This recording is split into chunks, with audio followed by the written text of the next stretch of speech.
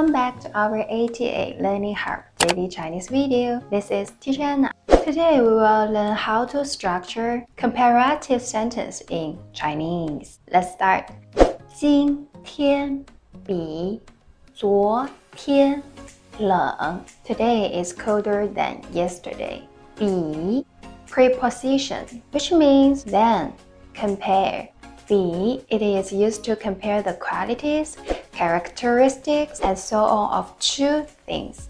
You can follow this format A, 比, B, then followed by the adjective. For example, 他比我忙，他比我忙。He is busier than me. 他二十岁，我十九岁。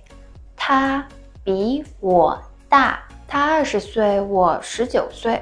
他比我大。He is twenty years old. I'm nineteen years old. He is elder than me. 中国比新加坡冷。中国比新加坡冷。China is colder than Singapore.